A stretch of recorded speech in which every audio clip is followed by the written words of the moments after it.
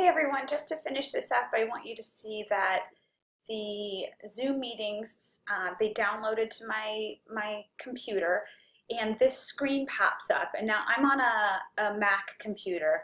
So this automatically popped up. I didn't do anything to get it to pop up, but if you click on this icon here, you can see that it was under my documents and Zoom actually creates a folder for me. So let me just show you how you could go here right out the gate. So if I click on my documents, you can see there's a Zoom folder that was created for me.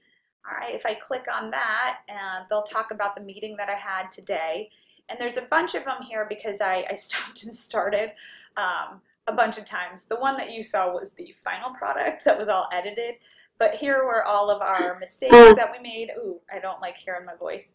Um, so you can see those all popping up and, and you can get those files and take those files and upload them into Canvas. So with that, that's how you host a Zoom meeting, get the video recorded, and then go ahead and submit that media file on your Canvas assignment submission. All right, if you have any questions, just let us know. We're happy to help. Thanks so much. Bye.